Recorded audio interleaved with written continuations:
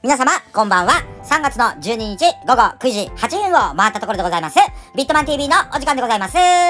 このチャンネルではですね、仮想通貨関連の最新重要ニュースや、とはチャート分析を通しまして、皆様の資産を10倍、100倍、1000倍にするようなお手伝いをさせていただきたいと思っておりますので、ぜひともチャンネル登録よろしくお願いいたします。はい、それではですね、本日、土曜日の第2部の配信を行っていきたいと思いますけれども、えー、私もね、先ほど今しがた8時半ぐらいだったかな、えー、自宅の方に戻ってきまして、えー、今収録に、えー、立ち向かって、えー、いるというところでね、えー、皆様ご理解いただければと思います。ちょっとね、あの、配信の時間が10時半ぐらいに多分なっているかなというふうに思いますけれども、ぜひともお、お休み前の首都動画という形でね、楽しんでいただければなと。うん。で、今日の第2部の内容なんでございますけれども、まずは皆様にね、絶対的にやっぱりここは押さえておいてほしいと、うん、えー、見ていただきたいものがね、ございます。来ました皆様。え、とうとうですね、え、ハゲ上がり通貨が、え、爆発する時が来ております。皆様、上を見てみてください。え、84%以上でございます。よろしくお願い。何のことなのか、え、私がこれは前々から言っておりますように、ハゲ上がり通貨としてね、えー、認識をしているエターナルでございます。ハゲ上がり通貨何のことなのか、え、時系列的に簡単に説説明をいたしますと、えー、私がね、えー、あちらでございます、ビットゲットさんで、このエターナルってもともとね、取り扱いがあったんですよ。で、あの、ゲーム系通貨で、お、これ結構安くなってんじゃないみたいな。てか、かなり下がってるなと思って、購入した矢先に、もうね、そっから、もう下がるとかいうレベルじゃないですよ。もうね、頭の毛根から全て持っていかれるレベルで落ちていくというね、わけのわからない状況。で、一応、ちょっとごめんなさい。チャート見ましょうか、見ましょう。見てくださいよ。とうとうね、爆発する時は来たんですよ。皆さん、本当にね、私はね、笑顔が今こぼれております。何のことか。え、あの、一応ね、史上最高値は、一番左端を見ていただいたらわかるように、約750ドル。うん、750ドルが史上最高値からの今3ドルというところで、ね、ございます。わかります ?750 ドルからの3ドルということで、もう200分の1以下、え、200分の1以下にね、えー、なっているというところで、まあ、200、250分の1ぐらいの以下にね、なっているような形になっておりますので、一応私がね、購入入したのは、えっと、え、80ドルぐらいだったかな？うん。80ドルぐらいで、うわ、めちゃめちゃ下がってるじゃん、これ、と思ってね。8、来ましたよ、皆様。とうとう100%上昇に向かってね、今ね、エターナルが回復をする予兆が出ております。皆様、え、ごめんなさい。決して買い煽りではございませんので、ここはね、よろしゅうお願いいたします。はい。あの、私、80ドルぐらいで買ったんですよ。お、これちょっと安くなってるなと思ってね、ゲーム通貨。ね。で、80ドルぐらいで買った次の日、ないしは次の次の日ぐらいに、そっから10ドルぐらいに落ちるというね、10分の1に落ちるというね、えー、市場自体が起こりました。もうね、気づいた時には、もう10ドルぐらいだったんですよ。ですから、80ドルで買って、ね、わかりますよね。その次の日にはもう気づいた時には10ドル。え、なんでこんな資産減ってるんだろうと思って、パッとね、見てみたら、もうエターナルがもうハゲ散らかしまくっていたわけでございますよ。ですから、私はね、このエターナルという通貨を、ハゲ上がり通貨としてね、私の中でただ単に勝手に言っているだけでございます。ですけれども、今ね、ちょこちょこちょこちょこ、毛が生えております。いいですか皆様。1時間足見てください。爆上がりでございます。よろしくお願いいたします。え、2ドルから3ドルへの急上昇ということで、ここはですね、期待をしていない中での期待をしたいというね、わけのわからない状況になっているわけでございますけど、本当にここはね、皆様、本当にごめんなさい。ありがとうございます。ありがとうございます。はい。ここはね、が、ゼガキでも、うん、ゼガキでも、700ドルぐらいまでのね、上昇を見せてほしいなと、な、目標価格、700ドルで行きましょう。ごめんなさい。あの、一応ね、今ね、これ、ね、私、いいですか？チャートうんぬんじゃなくて、もう希望で言ってますから、一応真に受けてはいけないですよ。真に受けてはいけないです。うん。あの、一応史上最高値750ドルぐらいだから、私、ビットマン TV は、まあ、目標価格700ドルぐらいに設定しとくか、みたいな 感じでね、一応、利確ポイント700ドルにしてますから、え、利確ポイント700ドルでございます。まあ、何年かかるかわからないですし、なんでいきなりこんな風になってるのか私もね、謎なところでございますけれども、なんとか今回復をね、しているということで、ちょっと頑張ってほしい。で、これ、あのね、私ね、ほんとね、あの、まあ、半分以上、っていうかもうね、8割方ね、私まあ購入してますから、あの、言えるかなと思いますけども、ちょっと諦め半分なところが、ごめんなさい、あるんですよね。ただ、あの、今これ皆さん見ていただいてるのがゲート .io なんですよ。ゲート .io。ゲートさんではまだ取り扱いがまあ、かろうじてあるので、そういった意味も含めてね、まだわかりませんよ。ぶっちゃけた話。うんで、なんかね、これ、噂によると、その、もともと、まあ、知らない方も多分多いでしょ？このエターナルっていう通貨。あの、別にごめんなさい。本当に買い煽りじゃないですから、一応、お耳の奥に、ちょっと潜ませておくぐらいでいいかなという感じ。このエターナルっていう通貨は、もともとゲーム系通貨だったんですよ。で、その中で、あの、使われていた、うん、あの通貨がこう、エターナルだったんですけども、それがなんかね、ひょんなことから、このエターナルをもうそのゲームの中で使うことができなくなったみたいな感じになったらしいんですよ。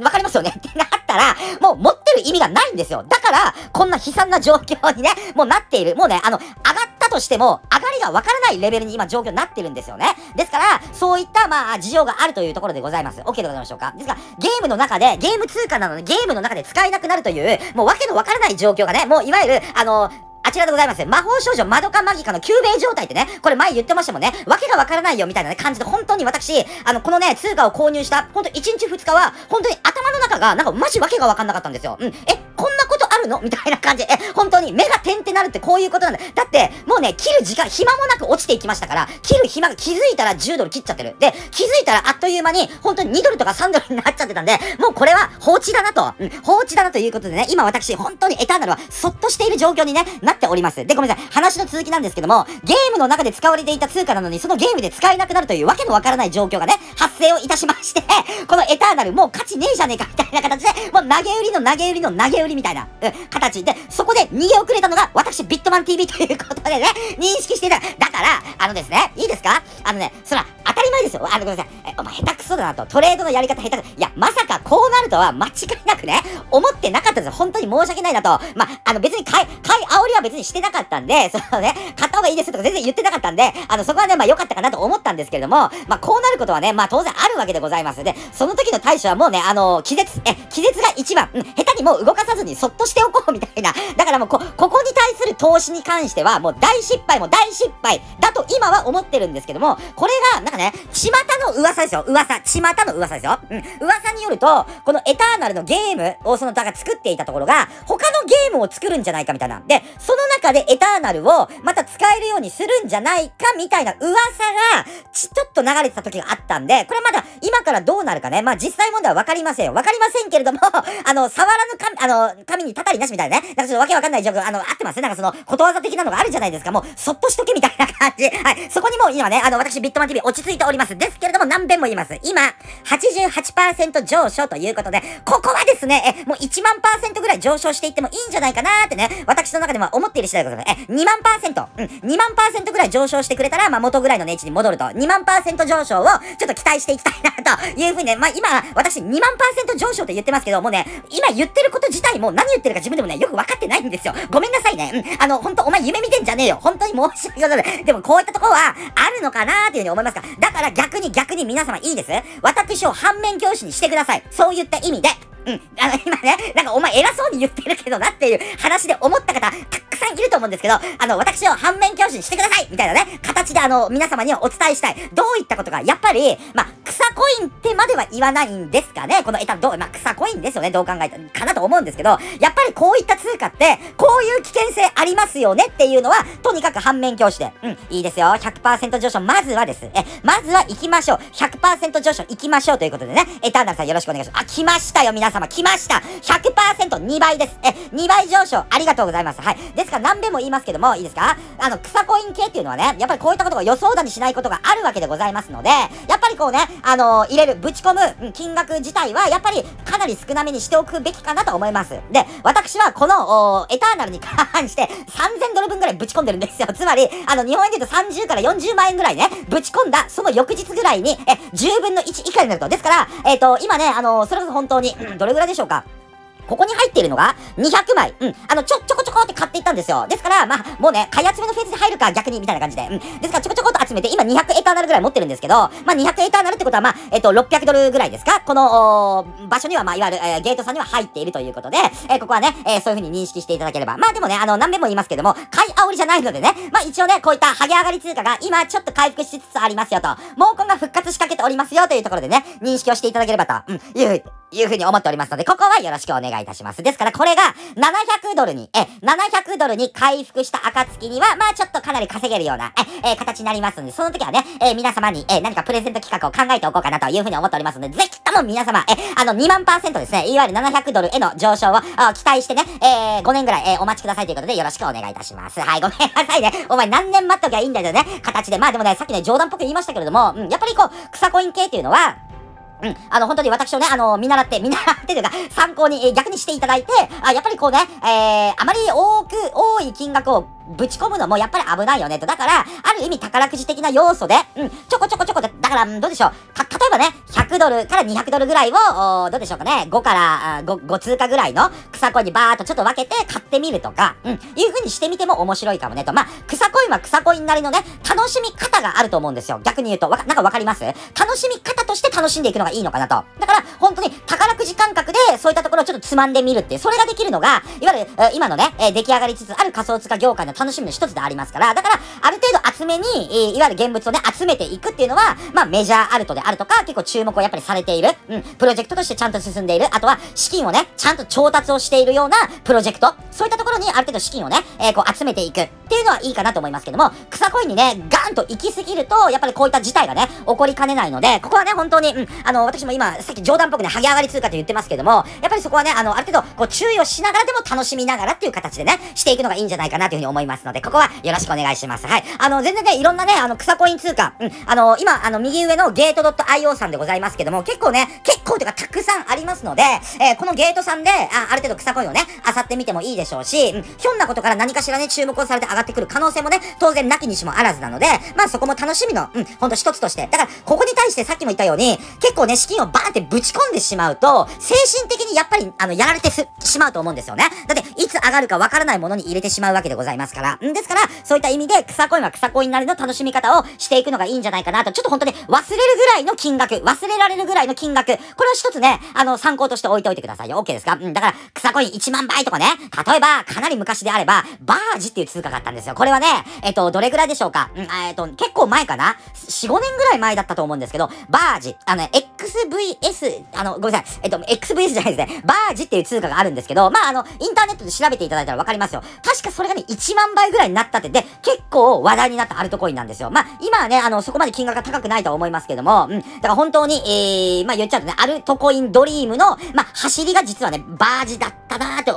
私が思っているのはあります。まあ確かに、ほら、芝コインとかね、ああいったものもありますけれども、バージの威力もね、やばかったというところでね、うん、あの、昔から仮想通貨業界にいる方であれば、なんか覚えてる、聞いたことあるって方多分ね、いらっしゃると思いますから、えー、結構有名ですよ。バージという通貨、ちょっと調べてみてください。よろしくお願いします。OK ですかですからまあ、ごめんなさい、話戻りますけどれども、草コインには草コインへの向き合い方っていうのが多分ね、あると思いますので、そこも楽しみの一つとしてね、うん、何かしらこう、ちょっとこう浮いたお金が、だから、私が思うのはほら、パチンコとかね、あの、スロットやられてる方多分いると思うんですよ。私も昔やってましたし、うん、あの、まあまあほら、あの、やったらやってて面白いですけどもね、あのあちらですよ、パチンコに例えばね、2万とか3万とか使うんだったら、例えばそのうちの1万円をね、ちょっと草コインに、うん、えー、こう、入れてみて、みたいな形である意味長い目線で見て楽しめるようなものだと思いますから、うん、あの、そこでちょっと資金をね、えー、こう、ゲットして、えー、パチンコ台に当てるお金を逆に草コインにちょっとこう振ってみようかなという形でね、やってみてもそれはそれで面白いかもしれませんし、そういったのがひょんなことから化ける可能性がありますからね、そこは一つね、ある意味こう、まあ、ギャンブルはね、あの、皆さん、あの、皆さんというか趣味でやられてる方も、まあ、いるとは思いますので、うん、あの、そういったところでね、こう、金を見て、資金をね、えー、ちょっとこう仮想通貨の草コインのに回してみるとか、やってみても面白いかも。でも逆に言うと、そういうことをやっていたら、なんか、パチンコにかけるお金よりも、なんか草コインを買って、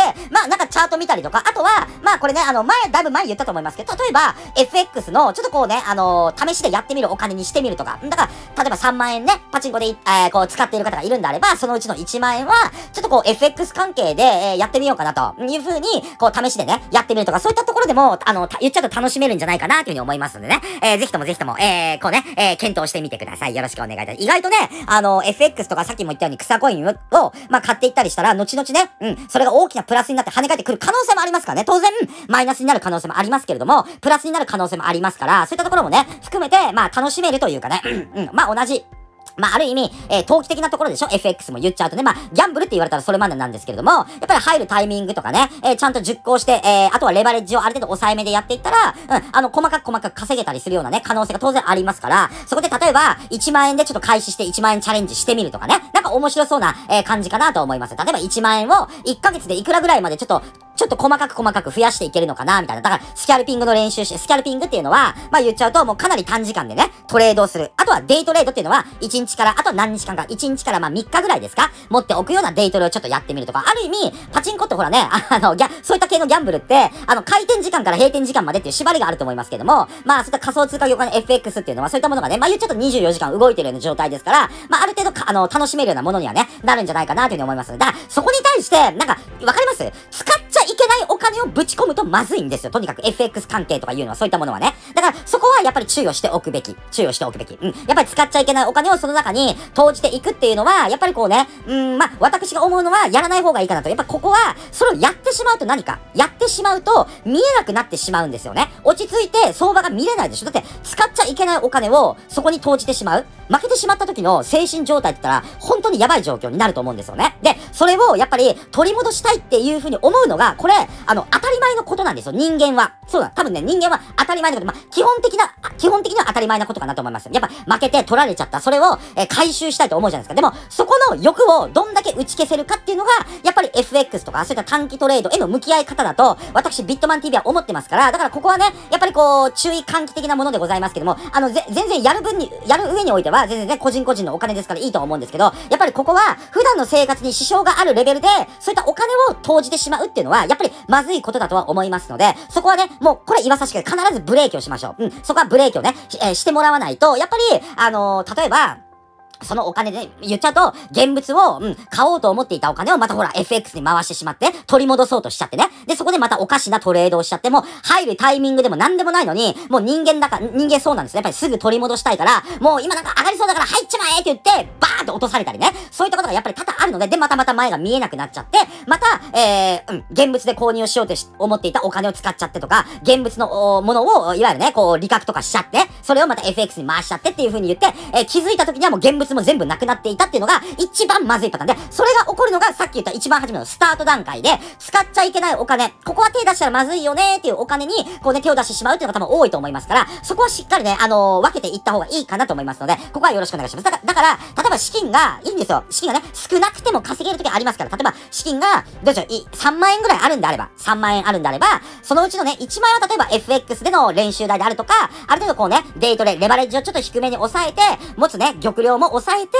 えー、リスク、管理をあらかたした上で、ちょっとこうね、えー、長めに持っておくみたいな形で。うん。で、えー、ちょっと利益がね、ポッと例えば3000から5000ぐらい出てきたら、えー、これをね、利確をしていって、だから、ある程度長い目線で見たら、皆様が思ってた、例えばですよ、ビットコインであれば、うん、どうでしょう、今からね、2万ドル上昇とか、例えば2万、1万ドル下落とか、そういったものってちょくちょく金で起こるような状況ではないような感じがしますでしょ？だって今、上昇チャンネル内きちんと推移しておりますから。でも、ある意味、例えば、2000ドル幅上昇とか、2000ドル幅下落とか、うん、そういった2000ドルとか、その1000ドルとか2000ドル幅であれば、普通にまあね、あの、何日間か、うん、見ていけば、あり得るとは思うんですよ。ですから、例えば、下に落ちてきた時にちょっと跳ね返りを狙って、2000ドルから1000ドルぐらいの上昇を狙って、ちょっとロングインをしてみる。で、その2000ドルから1000ドルぐらい上がっていったら、例えば、5000円とか1万円ぐらい稼げるような、えー、いわゆる、玉量を持って、えー、勝負をしてみるとかね、いう形でしていけば、ちょこちょこちょこちょこ稼げる。だから、もしポジション取ったら、そこまで粘る。ただ、何べも言いますけれども、うん、そこに対してね、やっぱ割れ込んでしまったらまずいラインを割れ込んでしまったらちゃんと、うん、資金が少ないからといって、じゃあ、損切りをしなくていいのか、それはまた別問題の話ですから。うん。やっぱり損切りっていうのは、あの、ここのラインを割れたらまずいよねっていうところで、やっぱちゃんとしていかないといけない。そういった意味で言うと、当然、あの、FX、えー、並びに短期勝負ですよね。言っちゃうと、損失が出る可能性も当然あるわけでございますけども、うん。だからその損失を、例えば1万円のうちに、うちの、例えばどうでしょう、3000ぐらいの損失、とか、2000円ぐらいの損失で抑えておくとかね。で、上は5000円から6000円ぐらい稼げたら、もうすぐ利確をしていく。で、それを例えば1万円を1万5000にして、みたいな形で、ちょこちょこちょこちょこ上積みさせてきて、その中でいいですか？何べも言いますけど、100%勝率は目指しちゃダメです。うん。100%勝率は目指しちゃダメですから、OK ですか？うん。ですから、えー、勝ってね、例えば5000円ぐらいで、えー、か、価値を確保して、また次のトレードで、また勝てるかもしれません。5000円ぐらいゲットしたと。で、えー、次のトレードでは、例えば3000円ぐらいまでの損失で抑えておく。そしたら、結局初めの段階から考えていくと、5000円プラス5000円プラス3000マイナス。はい。だから7000円プラスというところで、で、また次のトレードで、えー、ちょっとこうね、えー、入れそうなタイミングで入っていって、えー、またちょっと利益を伸ばしていくみたいな形。だから、3歩進んで2歩下がってもいいです。うん。ただこれを、やっぱりこう、3歩進んで、もう3歩下がって、えー、むしろ4歩下がって5歩下がってってなっちゃうと、資金がもうなくなっちゃうんで、でその次に言っちゃうと勝負できるようなね、えー、場所に差し掛かった時に入れるお金がないなんて 話になりますから、OK ですか？だから資金管理はね、えー、しっかりして、えー、挑んでいくべきでしょうというところでね、よろしくお願いいたします。OK でございましょうか？ですから、まあさっき言ったみたいにね、うん、あの、パチンコとかスロットとか多分やられてる方普通にいるんじゃないかなというふうに思い、趣味範囲でね、やってる方で、あの、いると思うんでございますけれども、だからそういったところのお金をね、ちょっとこう、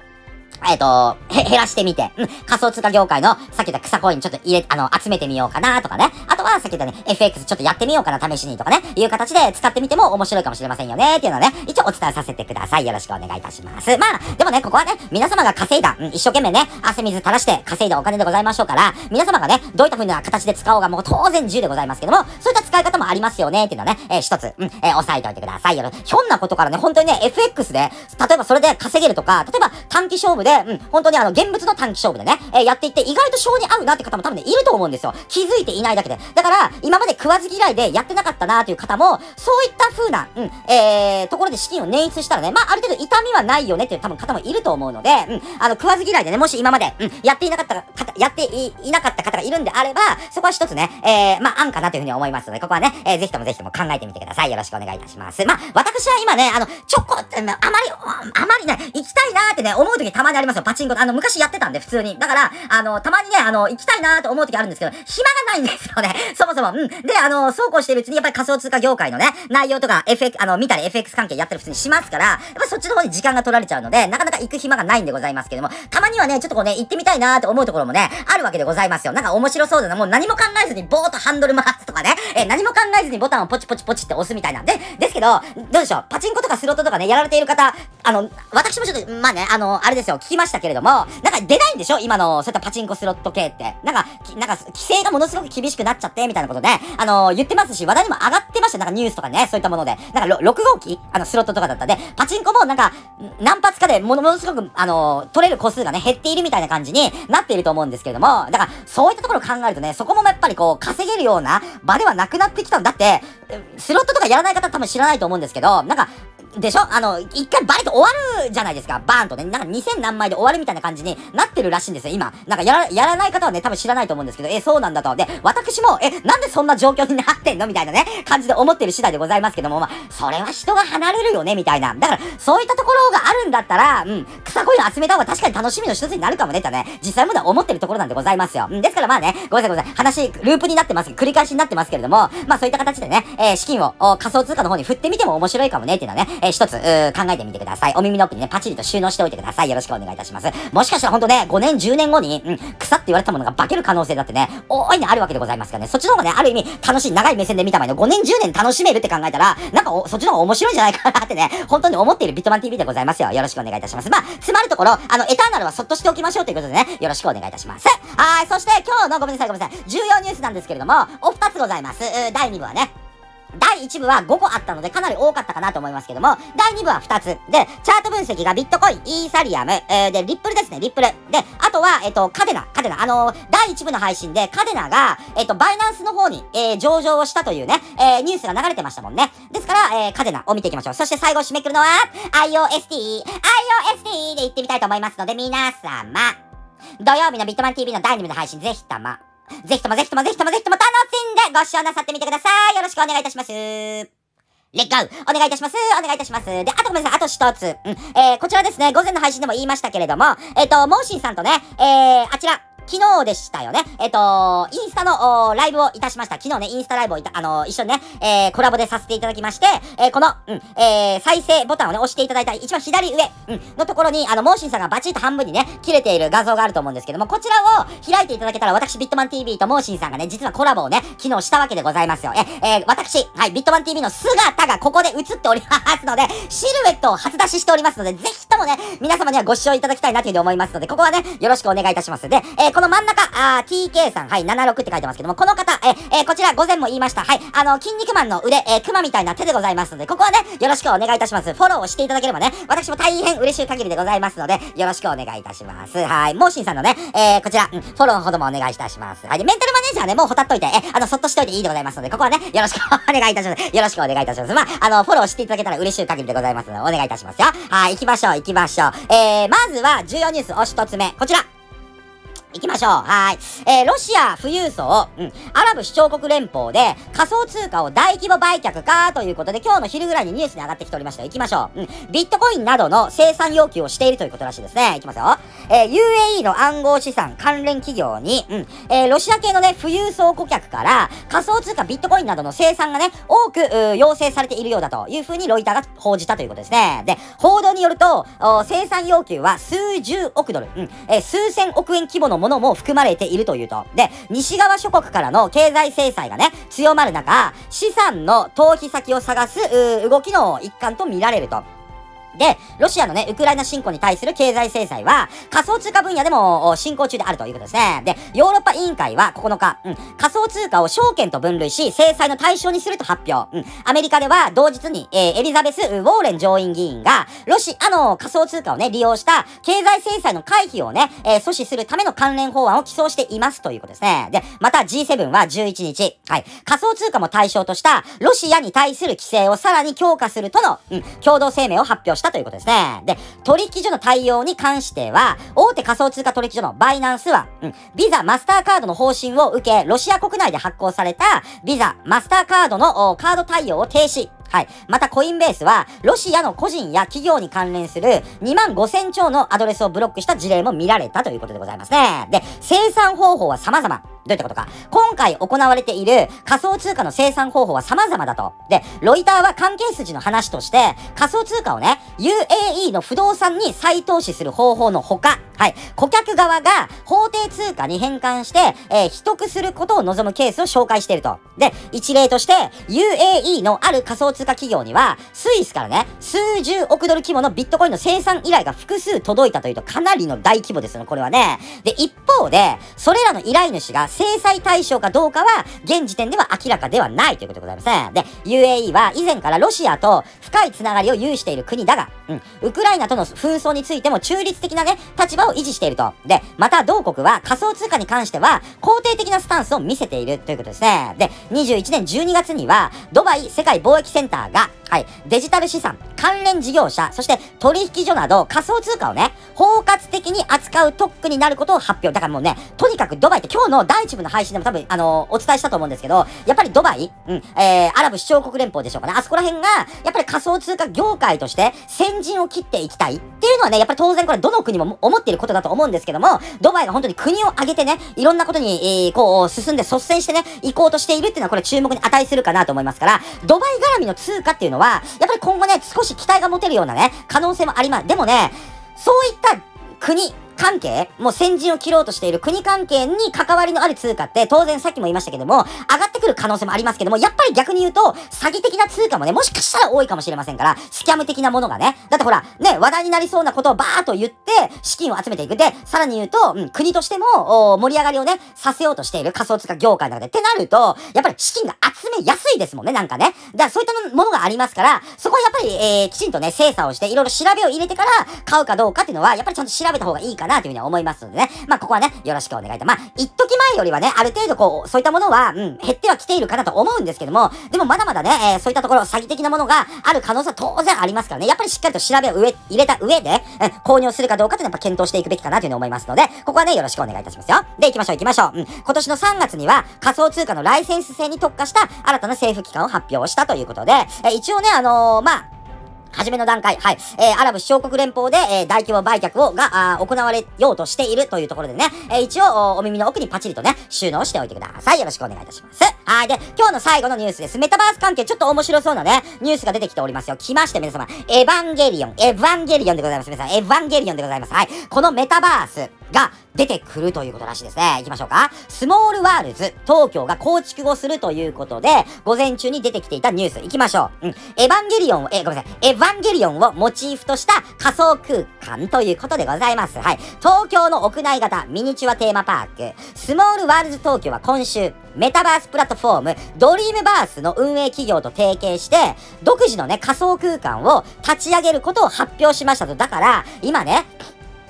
これ、あの、何日か前、それこそ今日の午前も言いましたかね、メタバースであるとか、NFT っていうものの検索数が急落してるんですよ。ネット上での。ですけども、これは致し方ないというところでございます。やっぱり、加熱感がね、増してきていたのは皆様ご存知でしょ？メタバースってなんだ？みたいな。だって、Facebook がメタに社名を変更するレベルですから、やっぱり注目度は高かったわけですよ。ですけども、ね、その加熱感を起こしてきた人々が、の興味が薄れて、やっぱり離れていく人が。だ、ですけれども、コアなファンは残るわけですよ。で、それが何回も何回も繰り返されて、コアなファンが徐々に増えていくってことです。そこから、やっぱり新しいね、あの業界、業態っていうのは、しっかりと足場を固めて徐々に人がね、増えていくのかなと思いますので、この、うん、えの、メタバース関係であるとか NFT が、やっぱりこう検索数が急落してますよってニュースは、ごくごく当たり前かなってぶっちゃけた話思ってますから、全然いいと思いますよ。で、ですけれども、これね、午前も言いましたけども、企業はやっぱり入るんですよ。だって、新しく作っていくっていうところのね、流れが、やっぱり今増えてるじゃないですか。また新しいね、この仮想空間を立ち上げることをまた発表してるわけでございますから、やっぱっぱりね、今後の注目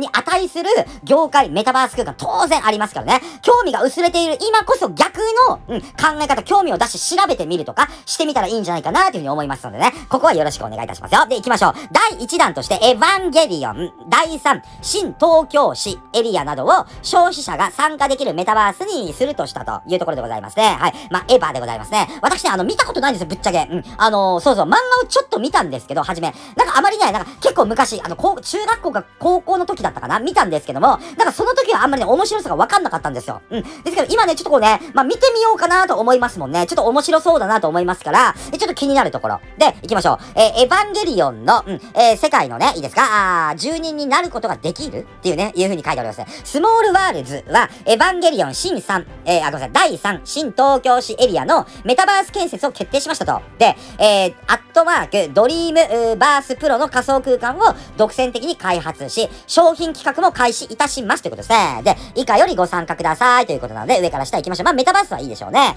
スモールワールズ東京は2020年6月に、東京のお台場エリアにオープンした、世界最大級のね、屋内型ミニチュアテーマパークである、東京に住んでいる方であればご存知でしょうか？で、まあ私はね、知らなかったわけでございますけども、で、関西国際空港や、はい、えー、世界の街エリアなどのほか、美少女戦士セーラームーンや新世紀エヴァンゲリオンなどのアニメをテーマにしたミニチュア世界をね、展示していると。で、エヴァンゲリオンについては、格納庫エリアと、し、え、第3新東京市エリアを再現。はい。神奈川県の箱根付近にあるとされる新東京市エリアは、エヴァンゲリオンの世界をね、約80分の1の大きさで再現をしておりまして、はい。キャラクターが暮らす団地や学校などを見ることができるということですね。で、住民権付き、えー、フィギュアプログラムとも連動しているということですね。行きましょうか。メタバースについての詳細やオープン日時は、まだ明らかにはなっていな、いませんと。で、えー、相手、えー、IT メディア、ニュースによると、同テーマパークを運営する株式会社、スモールワールズの、えー、近藤 CEO は、はい、仮想空間に、えー、第3新東京市ができ、ユーザーはね、アバターを使ってその中に入っていけるイメージだと語って、まあ、とにかくエヴァンゲリオンの世界観の中に、まあ、いわゆる入り込めますよっていうことですよね。普通に、まあ、端的に言うと。で、また、スモールワールズ東京が、すでに提供している、住民権付きフィギュアプログラムとも連動すると述べたと。で、公式ホームページによりますと、このプログラムへの参加者は、最新鋭の 3D スキャナー撮影により、80分の1サイズになった自分のフィギュアを2体作成し、はい、1体を対象エリアの好きな場所にね、1年間設置することができるということですね。で、もう1体は、えー、持ち帰るようにプレゼントされるということですね。で、メタバースが立ち上げられた暁には、参加者が仮想空間で、0号機パイロットである綾波レイなど、まあ、知ってますよ。うん。えー、このね、単発のあの、女の子ですよね。綾波レイななど、人気キャラクターと同じ団地に住むこともね、可能になる見込みだということですね。まあ、エヴァンゲリオンファンの方にとっては、これはものすごくね、楽しいものでございましょうね。で、架空の5都市もメタバース化。うん。エヴァンゲリオン第3新東京市エリアの他に、世界の街エリアもメタバース化されると。で、このエリアには、1900年代産業革命時代のアジアとヨーロッパをモチーフとして作られた、えーえー、空想上の都市がね、5つ存在。うん。えー、ドラゴン村や議事堂を、炭鉱など様々な街がね、あ、ごめんなさい、様々な場所が、えー、構築をされていますよということなので、まあ、エヴァンゲリオンがね、メタバース、関連の、えー、中で、まあ、メタバース空間でね、世界観を作り上げていくということなので、やっぱりこれはね、エヴァンゲリオン大ファンって多分いると思うんですよ。しかも、メタバースってなんじゃとか、うん、仮想通貨って何なんだろうみたいな風にね、思ってる方も多分たくさんいると思いますので、ここは一つね、新しく、うん、仮想通貨業界にね、お人を増やす、やっぱり一つのきっかけにはなるんじゃないかなというところでね、楽しめるものになるでしょうということ、気になる方はこのね、あの、エヴァ、ンゲリオン、メタバースみたいな感じで調べていただければ、公式ホームページ出てくるかなというふうに思いますのでね、よろしくお願いいたします。はい、それでは本日の重要ニュース以上となります。そしてごめんなさい、あの、先ほど冒頭でね、FX 関係とか現物、うん、集めてもいいんじゃないですかというふうに言いましたけども、一応ね、ごめんなさい、えー、こちらお伝えしておきましょう。えっ、ー、と、左上からバイナンスさん、そして、えー、右上のゲートさん、そして真ん中の段の左、ビットルーさん、そして真ん中の段の右、はい、OKX さん。ここは、一応私が現物を、うん、トレードしているところにはなっております。で、えー、一番上の段の真ん中のバイビットさんと真ん中の真ん中ビットゲットさん。ここは、基本的には私は FX と、えー、そこで稼げたお金とかに関しては現物をね、ここで購入するみたいな流れになっておりますけれども、えー、もしね、あの、FX 関係やりたいなと思っている方は、このまあ、バイビットさんかもしくはビットゲットさんがおすすめですね。はっきり言いますけれども。うん。あの、かなり使いやすくはなっておりますので、もしね、あの、アカウントをお持ちでない方がいるんであれば、えー、私、はい、えー、ビットマン TV、えー、リンクをね、えー、動画の説明欄の方に貼っておりますので、ここでぜひともぜひとも、えー、ご活用いただければ大変嬉しい限りでございますので、えー、よろしくお願いいたします。で、ごめんなさい。あと一つだけいいですか？あの、バイビットさんでの現物の買い方をちょっとこうね、教えてくださいみたいな感じで、あの、コメント多分、あの、していた方がいらっしゃったんでございますけども、ちょっとここら辺もね、暇を見てね、えー、2022年版の、おちょっと、すべての取引所の現物の購入の仕方みたいな動画とかもね、ちょっとこう、作っていきたいなと思っているわけでございますよ。ですから、ある程度ね、あの、あちらです。タブレットが来た、あ時にね、えー、ここはやっていこうかなというふうに思いますので、ぜひともぜひとも、おその時はね、えー、まあ、見て、えー、見てください。よろしくお願いいたします。まあ、FX 関係はバイビットさん、ビットゲットさん。で、現物は他の4つの取引所。まあ、バイビットさんとビットゲットさんもね、最近は、あの、現物の取り扱い数もかなり多くなってきておりますから、まあ、ここはね、えー、その中でもこと足りていくんじゃないかなというふうに思いますので、えー、まあ、ぜひともね、ご活用なさってみてください。よろしくお願いいたします。はい、それでは本日の第2部の重要ニュース並びにご案内は以上となります。そして、そして行きましょう。本日のチャート分析パパプーパパプーパパプーパワーよろしくお願いいたします。お願いいたします。と、一旦その前に、時飛ばし。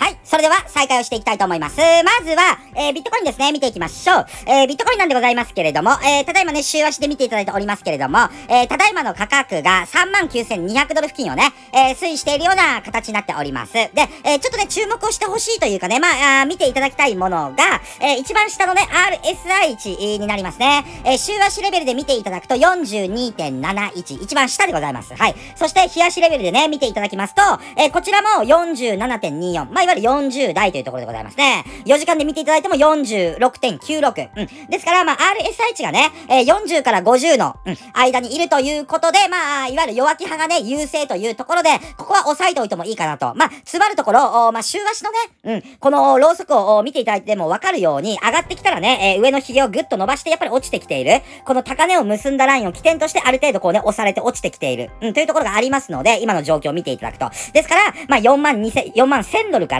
4万2000ドルですよね。そこのレベルまで上がってきたら、やっぱりこうね、えー、えー、え、上昇を取っていきたいぜの売りが、あかかってきたりとか、まあ、いわゆる弱気派が強いでございましょうから、小頭調ね、えー、する方がいたりとか、あしてからの下落にね、えー、繋がっているのかなという感じがいたしますので、えー、ここはね、注意をしておきたいところでございましょう。うん。だから、要素として、まあ、良くなってくるのが、まあ、4万2000ドルですよね。やっぱりね、この青いライン。うん。このラインをぐっとね、超えていくようなレベルまで上昇をしてきたら、ある程度 RSI 値も50から60の間を、やっぱり回復してくるような流れになるとは思いますので、ある程度強気派が、うん、優勢として意識されて、4万2000ドルを超えてきてからの、逆に言うとそのね、4万2000ドルというラインで、えー、ある程度買い座債が入ってまた上をね、目指していけるような状況にはなってくるかなというふうに思いますので、ここは一つね、えー、意識をしておいてくださいということでよろしくお願いいたしますよ。で、4万2000ドルを超えてきた後の一応目標価格としては、この、今もう週足で見ていただいてますけども、右上がりのね、黒いラインがあると思うんですけど、これは長い間時間として効いていた、えー、サポートラインになります。うん。ですから、そのラインの裏タッチですよね。裏タッチまでの上昇。つまり、今のドルベースで行くならば、はい、行きましょうか。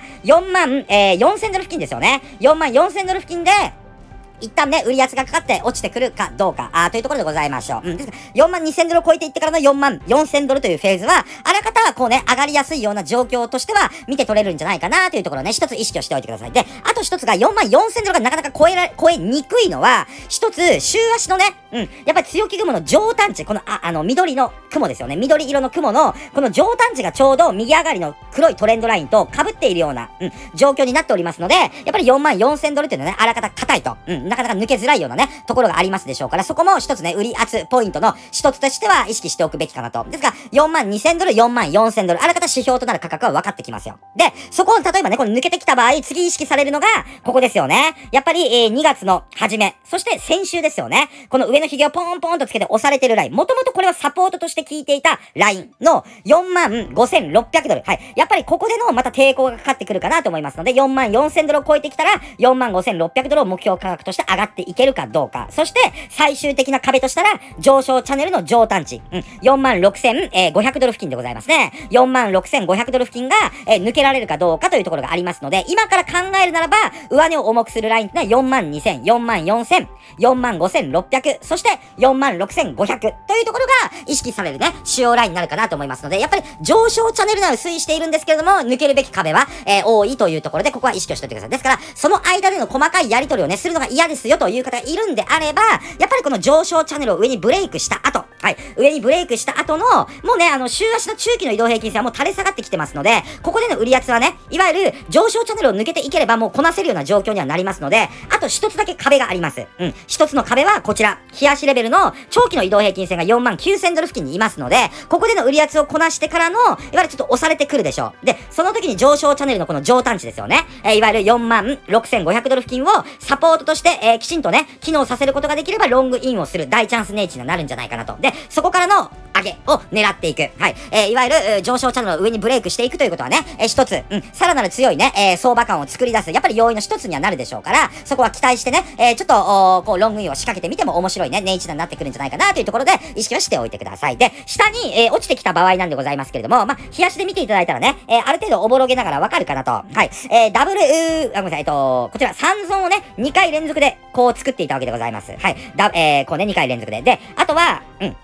まあそうですよね。で、その時の、まあいわゆるネックラインですよね。このネックラインっていうところと、週足の雲の形値。はい、今雲の中にいますから、週足の雲の形値がほぼ被ってるんですよ。ですから、37,500ドル。うん。今はやっぱり、あの、日足のね、えー、中期の黄色い移動平均線であるとか、短期の移動平均線が上に覆いかぶさっていますので、やっぱりここも売り、え圧となってね、えー、まあちょっと上がってきたとしても、売りがかかってずっと落ちてくる可能性があります。ですから、今はどっちかというと、上、上値が重いので、うん、そういった意味で言うとね、えー、下に落ちてくる可能性がまあちょっと高いのかなと。うん、そこを考えていくならば、47,500ドルっていうところが一つ下に落ちてきた場合の支えになるかどうかの指標となるラインです。37,500ドル。ですから、ここでの反発で購入していくのはいいんですけど、もしこのライン割れ込んでしまうと、やっぱり上昇チャンネルの形、さ、今であれば3万5000ドル付近まで落ちてくる可能性がありますので、やっぱり短期並びに FX でね、反発狙いで行くんであれば、ここを割れ込んでしまったら、つまり3万7000ドルを割れ込んでしまったら、やっぱり損切りをね、していくのがまあいいのかなという感じがね、まあ雰囲気としてはしておりますので、ここは注意をね、ねしておいてください。よろしくお願いいたしますよ。うん。ですから3万7000ドルを割れ込んでしまうと、3万5000ドルまでの下落がちょっと見て取れる可能性が高いかなと。で、そこを割れ込んでしまうと、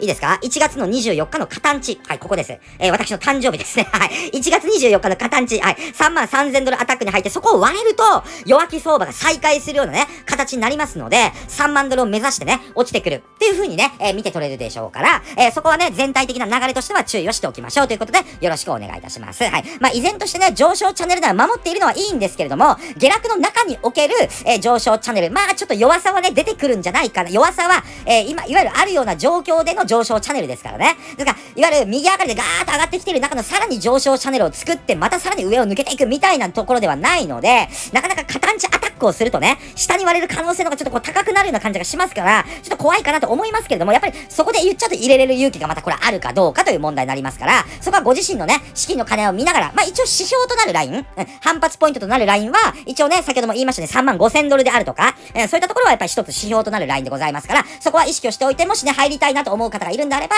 まあそこで、えー、ロングを一つはおすすめなかなと。ただ、割れ込んでしまったらね、えー、損切りをしていくとかいう対処絶対的にしていかないといけないので、ここは意識をしておいてください。はい、で、次行きましょう。えー、次はこちら行きます。行っちゃいます。ビッツコインがキングなら、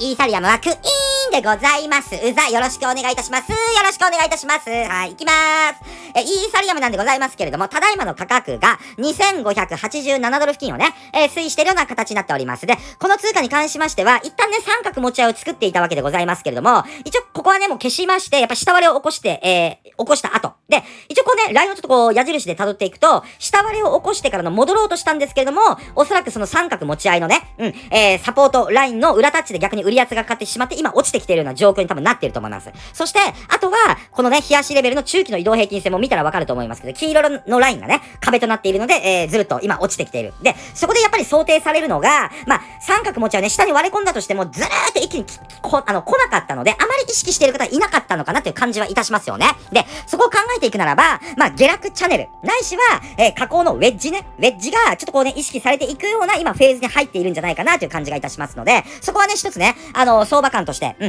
えー、チャート形状としては、今後のシナリオとしてはね、一つ気にかけておいてもいいかもなと、下落チャンネルないしは加工ウェッジ、うん、気味にちょっと今なっていると、高値も切り下げ、安値もまあ言うちょっと切り下げでございますけども、ちょっと切り下げのね、幅がまあ、ある程度緩やかというところで、ウェッジ気味なところがね、見て取れるでしょうと。OK ですか？で、まあ一応、加工のね、あの、下落チャンネルを、まあ意識している方が多いのであれば、今からぐっとね、落ちてきた場合、はい、ドルベースでいくならば、2480ドルを割り込んでしまうと、2480ドルですよ。うん。そこを割り込んでしまうと、えー、2300ドル付近までの下落がね、ちょっと見て、えー、取れるんじゃないかなというところで、そこは注意をしておきましょう。で、2480ドル付近っていうのは、ここなんですよね。週足の雲の中にこれも入っていますけど、雲の形がほぼほぼ2480ドル付近なんですよ。ですから、そこを割れると週足の雲も下割れを起こして、やっぱり2300ドル付近までのね、落ちが想定できますから、イーサルムに関しては今、下降の下落のチャンネルを描いておりますので、下、うん、目線がちょっとね、出てきた場合、2480ドルっていうのが一つ、えー、耐えられるラインになるかどうかっていうのはね、注目をしておいてください。よろしくお願いします。はい、2480。だから、今から100ドル幅ぐらいの落ち幅余力はあるよというところ。で、そこを割り込んでしまうと、2300ドル。はい、えー、下落、チャンネルの形までね、落ちてくる可能性がありますので、えー、そこはね、注意をしておきましょうね。それを割れ込んじゃうと、やっぱり、このね、1月24日、これも一緒ですよね。はい。2160ドル、まあ、2200ドル付近。で、そこを割れると1700ドルっていうところがね、やっぱり見えてくる可能性がありますので、そこは意識をしておきましょう。で、強さがやっぱり出てくるのはね、この下降のチャンネルを上にブレイクする。ないしは、やっぱり高値をね、結んだラインがありますから、OK ですか？ここですね、右下がりの黒いラインでございますけれども、このラインです。はい。この黒いラインをね、やっぱり突破できるかっていうのが一つ指標となるでしょう。ものすごく重要でしょうから、この高値を結んだラインを超えていくと、いわゆる冷やしの雲も突破するような形になりますので、上値が軽くなって、3600ドル付近まではね、あのー、見ていけるような形になりますから、一つロングインの、まあ、場所としてはね、まあ、ビットマン TV が思うのは、まあ、えー、もう雲のがね、ぐっと落ちてきてますので、ちょっと時間が経ってくると、赤いラインの3050ドル付近を抜けていければね、ロングチャンスとして捉えておいてもいいかなと。うん。えー、冷やしレベルのこのね、弱気雲がずるっと落ちてきます。ですから、3月の15、16日あたりはもうね、あの、落ちてきますから、赤いこのライン、つまり3050ドルを超えていけたら、かなりのチャンス、通貨になる可能性がありますので、そこはね、注目をしておいてください。ということでよろしくお願いします。3050ドルからの3600ドル付近をね、狙っていけるようなフェーズが入ってくるんじゃないかなというところで、意識はしておきましょう。よろしくお願いいたします。はい、次行きまーす。次は、えー、こちらですね、ツイッターの方でも、ちょっとこうね、あげましたけれども、えー、リップルを見ていきましょう。いきます。いっちゃいます。皆様の、皆々様の大好きなアルツの、アルツのお時間でございます。私も大好きでございます。お願いいたしますお願いいたしますいきまーす。はい。えー、リップルなんでございますけれども、ただいまの価格が0.787ドル付近をね、推移しているような形になっております。OK でございましょうか。で、えー、一応ね、三角持ち合いを広い目線で見た場合作っていたわけでございますけども、そこを下割れを起こしてからの、まあ、戻ろうとして、うん、えー、三角持ち合いを作っていたレジスタンスで押されて、えー、なかなか上を突破できないというところにはなっております。で、ちょっとなだらかな形でね、えー、見ていただければ、また三角持ち合いは三角持ち合いで、なだらかなサポートが効いているような形で、修正はできるかなと思いますけども、一応このまま残しておきましょうかね。うん。高値を結んだら、どの道突破していかないと、何も強さが多分出てこないと思うので、やっぱここはちょっと残しておきましょう。このままでいきましょう。で、それを見ていただいた、う、う、流れの中でね、み、まあ、見ていただくと、うん。え、直近で言うとどうなのか。やっぱり、この高値をね、結んだラインに、今は到達せずに、あ、ごめんなさいね。到達せずに、はい。えー、ここ。あ、ごめんなさい。高値を結んだら抜けることができずに、やっぱり売り圧がかかって押されている。んですから、ここを抜けたとしても、一旦効いていた、このね、三角持ち合いのサポートラインの裏タッチがやっぱりこう、またまた意識されてくるんじゃないかなというところもありまして、一応残しておこうかなという感じ。で、もし、リップルね、あのー、短期並びに FX でちょっとこうね、入ってみたいなと思う方が、あ、おられるんであれば、推奨場所としたら、やっぱりここですよ。うん。このオレンジのライン。はい。つまり、0.95ドル付近を抜けていければ、この冷やしレベルの200の長期の移動平均線も抜けていくような流れの中で、えー、ことが進みますので、OK ですか？あらかた強い。っていうか、かなり強いね、上昇が待っている可能性がありますよっていうのは、ここは意識をしておいてください。ですから、チャンスネイチとしたら、もう0.95を抜けてきてからのロングインは一つね、えー、ありなんじゃないかなというところで押さえておきましょう。ということでよろしくお願いいたします。今一旦ね、まあ今日でしたよね。結構0.82ドルぐらいまで上がっていってはいたんでございますけれども、やっぱりこうね、三角持ち合いの上端地で、えー、まあ前々からずっと聞いている、まあちょっと高値を結んだラインですよね。そこで押されているので、まずは一つそこを突破できるかどうか。突破したとしても、もともと聞いていたサポートラインの裏タッチで押される可能性がありますので、ドルベースで行くならば、0.88ドル付近での売り安をこなせるか、そしてその後ですよね。0.95ドル付近での、うん、やっぱりここ、ちょっと引き目で見たらわかると思いますけれども、いいですか ?0.95 ドル付近。うん。ある程度サポートとしてはね、まあ入っているラインで、レジスタンスとしてなかなか抜けられなかった。そして、長期の移動平均線も相重なっておりますから、この0.95ドル付近っていうのは最後の壁としては機能してくるかなというふうに思いますので、ここを抜けてこれるかどうか、抜けてきたらチャンスになりますよということなので、OK ですか？一つ0.88ドル、そして0.95ドルっていうところをね、注目ポイントとして上がってきた場合の売り圧がかかってくる候補の値位置としては押さえておきましょう。0.95を超えてきたら強さが出てきますよっていうのも合わせて、えー、覚えておいてください。よろしくお願いいたします。まあね、あの、裁判の行方がどうなるのかちょっとまだね、わからないところでございましょうけれども、まあ今年中にね、決着をしてくるみたいな、早ければ、あの、今年の年明けの1月ですよ。あの後に、あの、そのあたりで、早期決着するんじゃないかって言われてたんですけど、まだまだ全然話は上がってきてませんからね。ここがどうなっていくのかっていうのが、やっぱり注目をね、されていくでしょう。解決してきた暁には、バーンとやっぱ上がってくるとは思いますので、特にいい方向に解決した場合はですよ。ですから、そこをね、やっぱり期待をしてね、えー、まあどうでございましょうかね。うん、まあ私自身はね、一応ガチホスタイルという流れでね、言っております。はい。リップルに関しては、まあ下手な売り買いはせずに、一応史上最高値ね、いい方向性で、ことが進んでいったら、か、多分、あのー、ムーンするね、えー、流れになってくるんじゃないかなって一応期待感を込めてね、えー、おりますので、そこまではまあね、あの、裁判の行方、えー、の決着が出てくるまでは見ておこうかなという感じがいたしておりますのでね。まあ、ここはまあまあ、私の、うん、トレードでございますけども、まあ皆さんがどういう風に感じて、えー、感じるのか、まあ、そこでね、いろいろ手締まっていくのかどうなのかっていうのがあると思いますが、まあ、手締まっていくにしても、ちょっと上がってきてからね、さっき言った0.88とか0.95ドル付近、そこまでの上げっていうのはね、全然直近ではあり得る可能性が当然ありますので、えー、手締まっていくんだったらそのラインをね、ちょっと見ていくとかいう流れで見ておいてもいいんじゃないかななというふうに思いますので、ここはよろしくお願いいたします。はい。で、次行きましょう。まあ、なかなかね、裁判がどうなるかがわかりませんけれども、いい方向性でね、決着してくることを期待していきたいところでございます。はい。で、次行きます。次はこちら。行きます。えー、初めて見ますかね。えー、カデナをね、ちょっと見ていきましょう。カデナですね。いきますよ。えー、ただいまの価格が6.77ドル付近をね、えー、推移しているような形になっております。OK でございましょうか。で、この通貨に関しましては、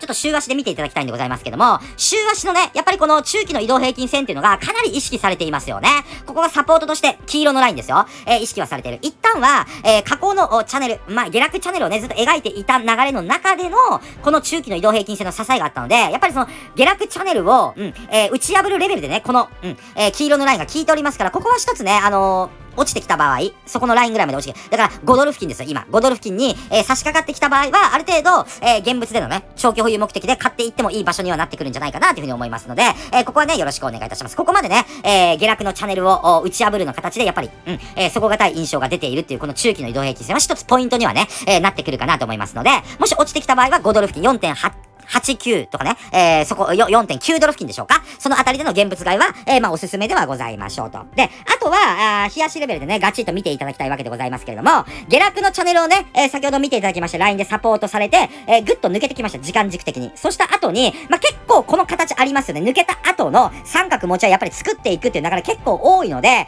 このパターンはね、ある程度覚えておいてもいいのかなと。で、えー、上へ抜けてきたら、いいですか？うん。強さがまあ出てくるんでしょうけど、先ほどね、見ていただきましたように、やっぱり冷やしレベルの雲が上に覆いかぶさっていますから、OK です。雲の形が7.8ドル付近にいるんですよ。その片地と、一応雲消しますよ。長期の移動平均線。はい、この200ですね。これがやっぱり被っている。うん。ここ直近で見ていただくと結構上値抑えられているので、この片地、えー、雲の片地と長期の移動平均線が被ってますから、やっぱ短期並びに FX で勝負したいなと思う方は、すぐすぐ握るんではなくて、雲中にね、やっぱ突入してきてから入っていくのがいいかなと。ですから、8ドルぐらいを抜けてきてからの、うん。えー、どうでしょう。10ドルぐらいえー、10ドルあたりを狙っていく。だから1万あたり2ドルぐらいの小幅を、小幅上昇を取っていくような流れの中での FX っていうのは一つありかなと。で、あとは、やっぱりこうね、雲をね、上にブレイクしていったら、あらかた強さがね、やっぱり出てくるでしょうから、えー、上値をね、ちょっと伸ばしていくみたいな形。うん。えー、やっぱりこうね、トップをつけているところを基準に考えていくと、うん、10ドルで抵抗されるかなと。今からぐっと上がってきた場合ですよ。抜けていければ、えー、直近での高値も抜けていくような形になりますので、そこをね、加味すると、おこういったところ。はい。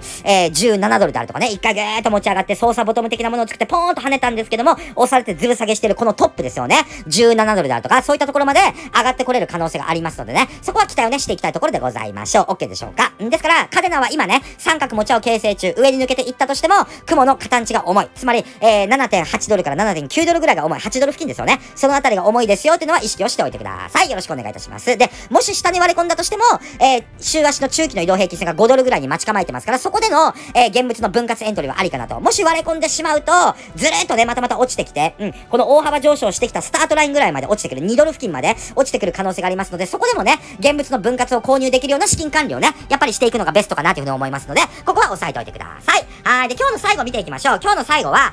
IOST をね、見ていきたいというふうに思っておりますよ。いきまーす。はい。え、IOST なんでございますけれども、えー、ただいまの価格が0.022ドル付近をね、推移しているような形になっております。で、この通貨に関しても、いいですか？えー、下落のね、まあ、ちょっとチャンネルをずーっと描いておりました。はい。えー、高値をずーっとね、えー、こう抑えられてずるずる下がっている。で、えー、安値もずーっとね、更新をしていくような流れの中で下がってきてると。で、そこをある程度ね、